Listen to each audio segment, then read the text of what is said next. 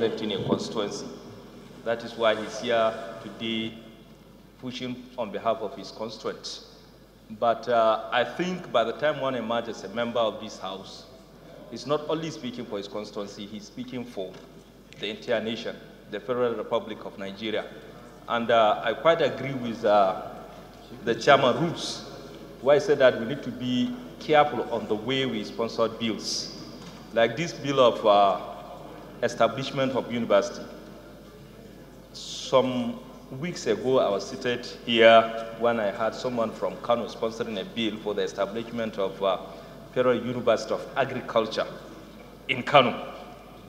I don't have any issue to that because uh, when you look at our university system today, the universities are overstretched in terms of manpower and student population. But the problem we are having is the way Madam put it. Do we have the resources to cater for those universities? And uh, is the establishment of university a sole responsibility of the federal government? Yes, order, state please. can establish Honorable universities. Colleagues, order, please. State can establish universities where the need arise. And even the way he cited that local government, uh, in every village and town in US, we have universities. Nobody stop any local government from establishing university if they have the resources. And even private individuals. Just last two months, I think NUC approved the establishment, gave issued license for the establishment of 10 private universities in Nigeria. Mr. Speaker, honorable colleagues, I'm from Kano. We have only Bayero University in Kano. We have only Usman Danfodiyo University in Sokoto. We have the newly established Federal University Gusau in Zamfara. We have the newly established Federal University Birnin Kebbi, as in in Kebbi State. We have the newly established Federal University Dutse and we have ABU Zaria. That is to say, each state across, like in the case of Northwest, have only one federal university. But in the case of Kano today, we have three additional universities apart from the federal-owned university. We have uh, Kano State University of Science and Technology, owned by state government, and we have Maitama Sule University, also owned by the state government. And we also have another privately owned university, that is Skyline uh, University in Kano.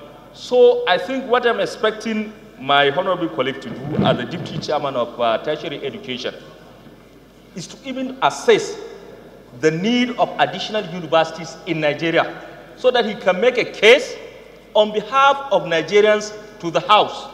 So that if we feel that there is need of establishment of uh, additional universities in Nigeria, then we'll find out where we can pull out the resources.